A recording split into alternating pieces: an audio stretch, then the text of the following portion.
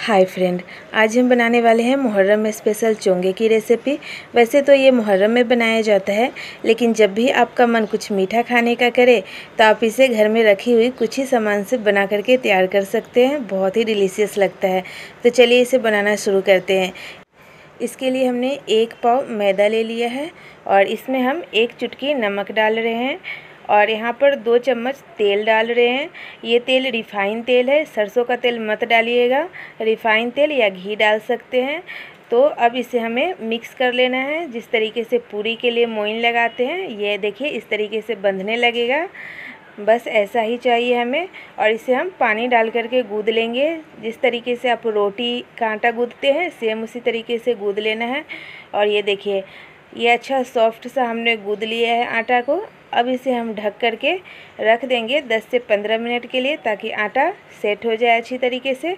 अब हम चोंगे के लिए चाशनी बनाएँगे। इसके लिए पौना कप हमने शक्कर लिया है और पौना कप ही हम पानी लेंगे। यानी जितना शक्कर रहेगा उतना ही पानी डाला जाएगा। और इसे हम चलाते हुए पकाएँगे ताकि शक्कर जल्दी से घुल जाए। और ये देखिए, शक्कर हमारा अच्छी तरीके से घुल चुका है। अब इसमें हम फ्लेवर के लिए डाल देंगे एक छोटा चम्मच इलायची पाउडर और इसे हम मिक्स कर लेंगे। चाशनी हमें ज़्यादा गाढ़ी नहीं चाहिए। शक्कर घुल जाने के बाद चार पाँच मिनट के लिए पकाना है और ये चाशनी हमारा रेडी है। ये देखिए, आटा भी हमारा सेट हो चुका है अच्छी तरीके से। तो इसे हम निकाल लेंगे और थोड़ा सा इसे हम चिकना कर लेंगे और इसका हमें लोई तोड़ लेना है तो इसका हम छः पेड़ा बनाएँगे इसका। आप सात भी बना सकते हैं।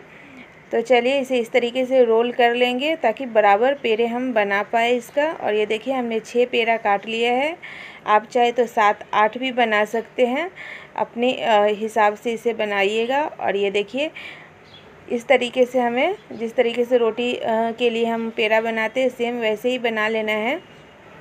और सूखा आटा लगा करके हम इसे रोटी जैसे बेलते हैं, वैसे सेम रोटी के जैसा, लेकिन थोड़ा पतला इसे हम बेलेंगे। फ्रेंड, मुहर्रम से रिलेटेड हमने बहुत सारे वीडियो बना रखी है, शरबत, रोट, खिचड़ा तो ये सब भी देख लीजिएगा। और ये देखिए, इसे हमने बेल लिया है, इसका थिकनेस एक सिक्के के जैसा होना चाहिए, एक रुपये, दो रुपये का जैसा सिक्का होता है, वैसा ही। और इसी तरीके से हमने सारे रोटी बेल लिए हैं और इसके ऊपर से मैं घी लगा रही हूँ। अच्छी तरीके से पूरा रोटी पर हम घी लगा देंगे और इसके ऊपर से हम दूसरा रोटी डालेंगे, फिर से घी लगाएँगे, फिर से तीसरा रोटी डालेंगे, फिर घी लगाएँगे, फिर चौथा रोटी डालेंगे। इसी तरीके से पूरा छः रोटी हम डाल देंगे एक के ऊपर एक घी लगा करके। और ये देखिए हमने डाल लिए हैं सारे रोटी को घी लगा के एक के ऊपर एक। और इस तरीके से छुरी के मदद से या पिज़्ज़ा कटर के मदद से आप इसे काट सकते हैं ईजी से। और इसके ऊपर से भी हमें घी अप्लाई करना है और इसे हमें रोल करना है। तो इसे हमें अच्छा अच्छे तरीके से थोड़ा सा टाइट ही इसे हम रोल करेंगे। जिस तरीके से मैं आपको वीडियो में बता रही हूँ सेम उसी तरीके से। आप पूरा फॉलो कीजिए। और आपका भी चोंगे बहुत ज़बरदस्त बन करके तैयार होगा। चैनल पर नहीं तो सब्सक्राइब कर लीजिएगा और साथ में बेल नोटिफिकेशन ऑल पे क्लिक कीजिएगा। इससे हमारी आने वाली वीडियो की नोटिफिकेशन आपको मिल जाएगी और आप इसे सबसे पहले देख पाएँगे। बिल्कुल फ्री है, इसके कोई भी पैसे नहीं लगते हैं। तो ये देखिए, इसी तरीके से आपको पेड़ा रोल रोल करके बना लेना है। और ये देखिए, ये हमने बना लिया है। अब इसका हमें, इसे हम बेलेंगे। तो इसको हम इसको हम पूरी के जैसा बेलेंगे। पूरी से थोड़ी सी बड़ी साइज़ में। तो साइज़ आप अपने हिसाब से रख सकते हैं। यहाँ पर सूखा आटा मत लगाइएगा। इसे ऐसे ही बेलेंगे। तेल चढ़ा दिया था गरम होने के लिए। तो तेल गरम हो चुका है। तो इसमें हम चोंगे को फ्राई करेंगे। आप चाहे तो घी में भी इसे फ्राई कर सकते हैं। और जिस तरीके से मैं बता रही हूँ थोड़ा सा हल्के हाथों से चम्मच से आप दबाते हुए इस तरीके से इसे फ्राई कीजिए, क्रिस्पी फ्राई कीजिएगा। ये देखिए, इसका कलर कितना खूबसूरत आया है। धीमा टू मध्यम फ्लेम पे, यानी मीडियम टू लो फ्लेम पे हमने सारे चोंगे को फ्राई किए हैं।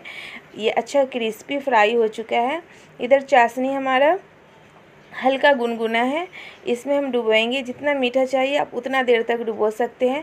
पर ज़्यादा मीठा मत कीजिएगा। ज़्यादा देर मत डुबोइए। पाँच से दस सेकेंड के लिए बस इसे डुबोना है और एक्स्ट्रा जो चाशनी है, उसे हमें निकाल देना है इस तरीके से। और इसके ऊपर हम डालेंगे सूखा हुआ नारियल, जो डेसिकेटेड कोकोनट ईजी से आपको मार्केट में मिल जाएगा। नहीं तो ये सूखा हुआ नारियल को खुरच करके भी इसके ऊपर डाल सकते हैं। टेस्ट दोनों का सेम है।